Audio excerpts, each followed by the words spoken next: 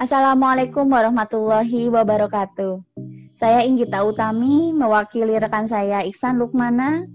Kami mengadakan kegiatan pengabdian kepada masyarakat dengan tema pemberdayaan warga Bronto Kusuman Mergangsan dalam membudidayakan magot sebagai agen degradasi sampah organik dan alternatif pakan ternak. Warga di Broto Kusuman kebanyakan membudidayakan lele dan mereka dapat memanfaatkan maggot yang kaya dengan protein untuk menjadi alternatif dari pakan ternak lele tersebut. Maggot ini juga dapat berfungsi sebagai agen biologis untuk menguraikan sampah organik di tingkat rumah tangga. Harapannya, warga dapat lebih mandiri, khususnya melalui pengeringan dari maggot agar lebih awet dan dapat memiliki nilai jual yang lebih tinggi.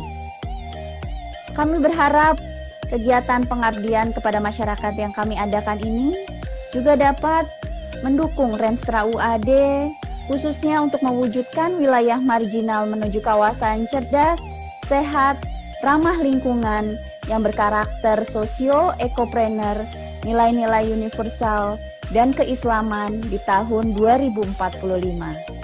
Berikut adalah video dari kegiatan pengabdian kepada masyarakat kami.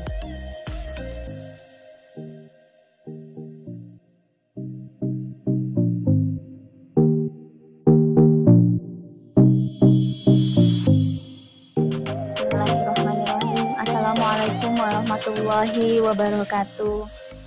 Saya adalah Inggita Utami, dan pada kesempatan kali ini saya akan ditemani oleh Bapak Ihsan Lukmana Indra Putra.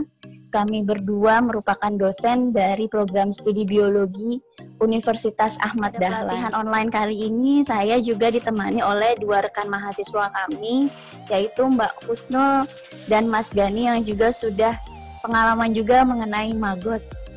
Insya Allah pelatihan online ini akan kami selenggarakan dalam dua tahap yang pertama, pelatihan online atau daring yang akan kita lakukan pada hari ini.